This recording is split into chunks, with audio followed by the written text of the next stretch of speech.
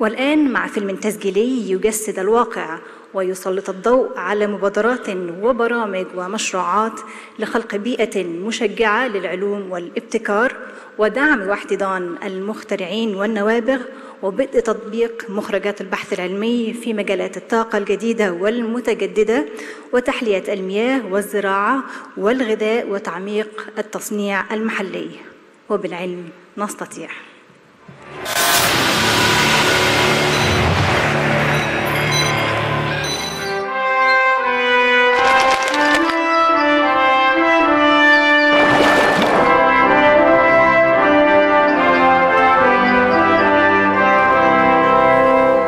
قدر التحدي تكون الجرأة. وعلى قدر الحلم يكون اليقين. وعلى قدر المكانة يكون العمل.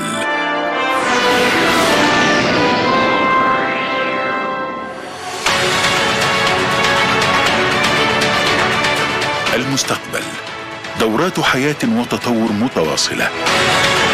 نبدأ اليوم حلقة جديدة تطلقها القيادة السياسية الواعية بمتطلبات العصر. إن البحث العلمي يعد خيارا استراتيجيا لتجاوز مختلف الصعوبات التي تعترض خطط التنمية. مصر التي كتبت التاريخ وصنعت حضارة أبهرت العالم على مر العصور تعرف أن العلم هو كلمة السر التي تفتح كل أبواب الخير لمواجهة أي تحدي وهزيمة أي صعاب.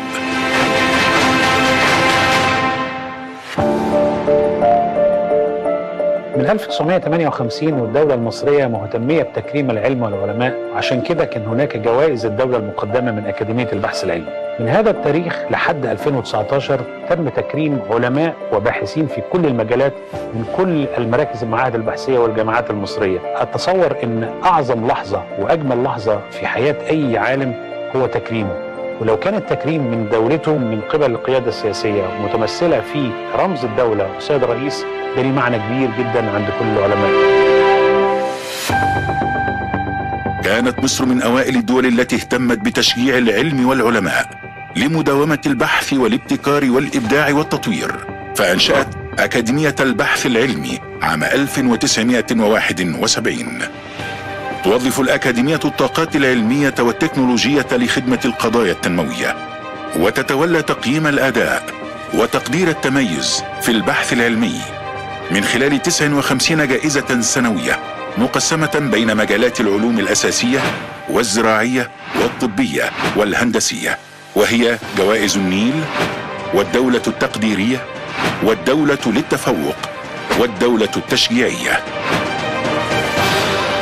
وتبذل الدولة المصرية حاليا جهودا كبيرة من أجل تهيئة بيئة مشجعة للعلوم والتكنولوجيا والابتكار ونشر ثقافة البحث العلمي.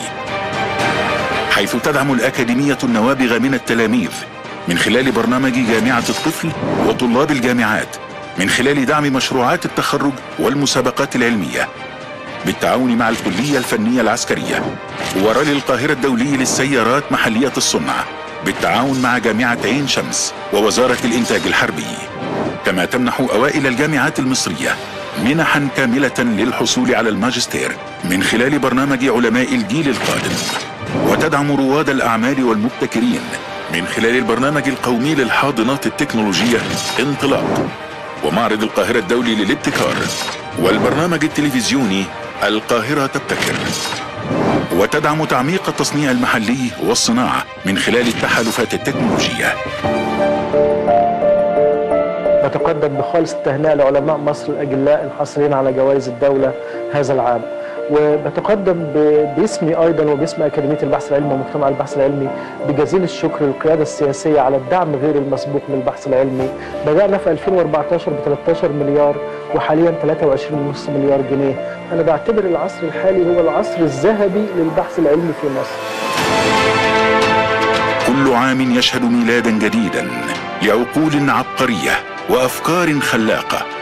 تقوم الدولة بتكريمها ودعمها وتبني أفكارها ومشروعاتها لتصنع طفرة جديدة في رؤية مصر 2030 حين يتحدث العلماء تتفتح أبواب المستقبل ويصبح الحلم يقينا. أتقدم بتهنئة خالصة للحاصلين على جوائز الدولة وخاصة الشباب منهم أتمنى لهم مزيدا من التوفيق والإنجاز. فالبحث العلمي هو المدخل الأساسي لما يعرف باقتصاد المعرفة كما أنه يضيف ويمنح الدولة القوة الناعمة والقوة الخشنة إذا لزم الأمر. في مجال الأمراض المتوطنة واللي بطمح إنه يتم القضاء نهائي على الأمراض دي إذا البلد تمكنت من إنتاج الأدوية ده هيبقى مكسب كبير قوي الحقيقة. وأنا متخيلة إن كل الهيئات اللي تتبع البحث العلمي في مصر مهتمة جدا بالموضوع. بأوجه نصيحة لل- لزمايلي أو ولادي الصغيرين أقول لهم إنهم تحبوا اللي بتعملوه وتصبروا. اللي بيشتغل في المجال البحثي الأكاديمي ما بيحسش الحقيقة بلذة شغله إلا لما ياخد جايزة. وجايزة البلد ليها طعم تاني. أسعد لحظة تكريم كانت لحظة تكريم الرئيس السيسي.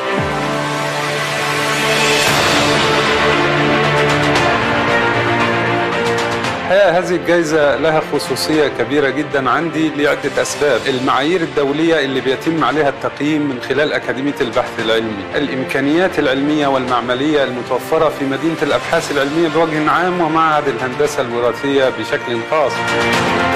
إحنا مهمتنا إيجاد وتطوير وابتكار بدائل جديدة حيوية للمنتجات الكيميائية تكون صديقة للبيئة وآمنة للصحة والإنسان والحيوان والنبات.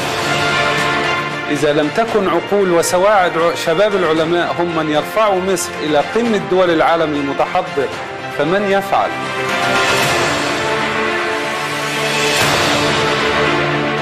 والله الحمد لله أنا حصلت على عديد من الجوائز والتكريمات على مستوى العالم لكن بيأتي التكريم من الدولة المصرية على رأس وأهم هذه التكريمات الحقيقة في آخر أربع سنين لاحظت أنا وزملائي من العلماء المصريين في الداخل والخارج الاهتمام الشديد والإيمان العميق الذي لا يتزعزع من القيادة السياسية بأهمية البحث العلمي كقاطرة أساسية ورئيسية لنهضة البلد والنهوض بالاقتصاد والمجتمع بشكل عام.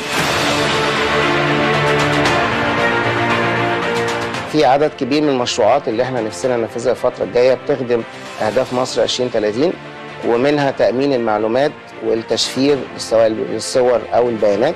الموضوع التاني اللي إحنا برضو بنسعى فيه هو ربط الزراعة بالتكنولوجيا عشان نستفيد من كل البيانات اللي عندنا والخبرات اللي موجودة ونخزنها في قاعدة بيانات. آه، في الحقيقة جائزة الدولة للتفوق بالنسبة لي علامة مميزة في حياتي وخصوصا لأن هي في العلوم التكنولوجية المتقدمة.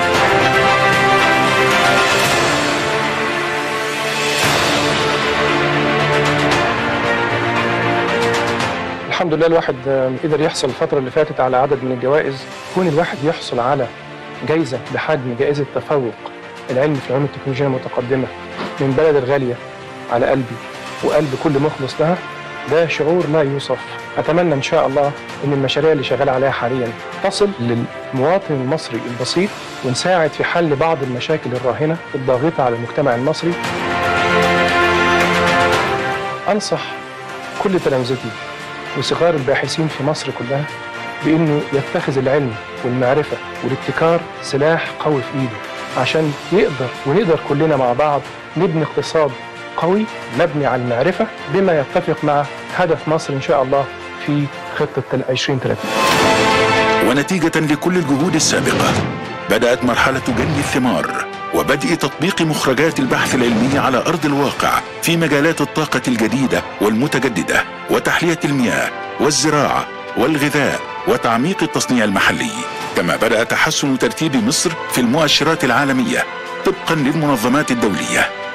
قفزت مصر في السنوات الثلاث الأخيرة من المرتبة 107 إلى المرتبة 92 في مؤشر الابتكار العالمي.